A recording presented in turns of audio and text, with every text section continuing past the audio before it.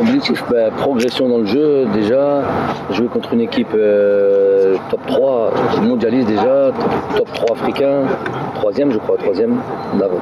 oui, oui, troisième. Donc une équipe de qualité, c'est toujours des matchs difficiles مع تونس. آه، دونك آه، نحبوا نلعبوا مباراة جميلة قدام